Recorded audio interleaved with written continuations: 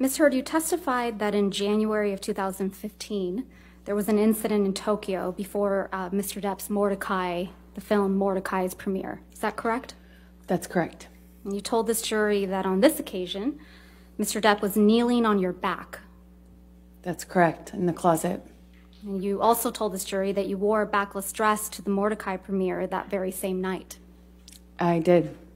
And you testified that you were checking for bruises in the car on the way back, on the way to the event to make sure that there, there were, quote, no visible marks, right? I was checking on my phone um, after the event to see, to make sure that nothing, that you couldn't see anything.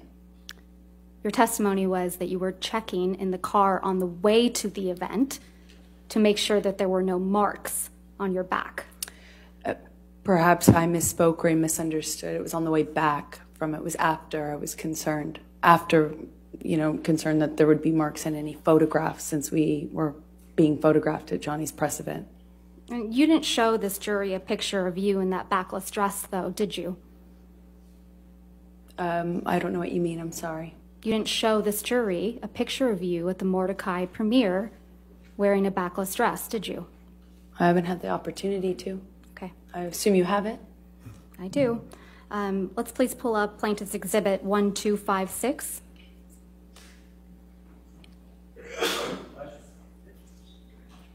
This is a picture of you and Mr. Depp, or the back of you, at the Mortdecai premiere in Tokyo, correct, Ms. Heard? That is correct. Your Honor, I move to admit and publish this picture. All right, 1256 in evidence.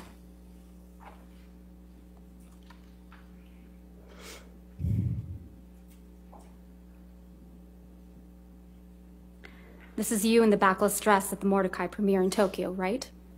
That is correct. You would agree that there are no bruises or visible marks on your back in this picture. No, not that I could see.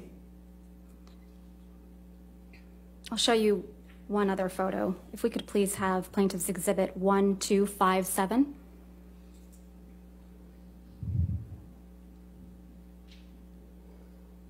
This is a front angle picture of you and Mr. Depp at that premiere, correct? That is correct. Move to admit Plaintiff's Exhibit 1257. All right, 1257 in evidence.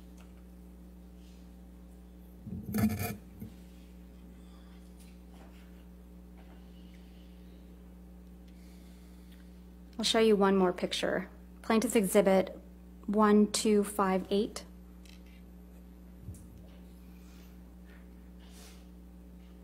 And again, Ms. Heard, this is you and Mr. Depp at the Mortdecai premiere. Yes, it is. Move to admit Plaintiff's Exhibit 1258. No objection. All right, 1258 in evidence. Publish. And that's the backless dress, right, Ms. Heard? That is correct. You also told this jury about an incident in Australia in March of 2015.